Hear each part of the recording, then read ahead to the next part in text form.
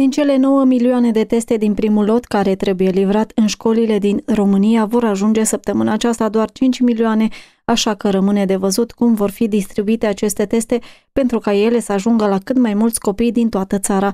S-a ajuns la această situație pentru că o parte din firmele care au participat la licitație s-au retras pe motiv că în momentul de față nu mai au aceeași putere de cumpărare ca în momentul în care a fost demarată licitația. Prețul de achiziție al testelor între timp a crescut. În plus, firmele care au rămas să onoreze acest contract nu pot în momentul de față să asigure transportul acestor teste din China, care este țara de origine, către România. Așadar, dorința guvernului ca toți elevii să fie testați non-invaziv cu teste de salivă rămâne deocamdată la stadiul de intenție, cel mai recent termen avansat de către autorități, atât din educație cât și din sănătate, era pentru miercuri 24 noiembrie. Testele vor ajunge în școli abia vineri, 26 noiembrie, deci prima testare a celor mici s-ar putea face abia săptămâna viitoare din 29 noiembrie. Cum cel mai probabil guvernul va stabili că această zi este liberă, primele teste de salivă ar urma să se facă așadar din 2 decembrie.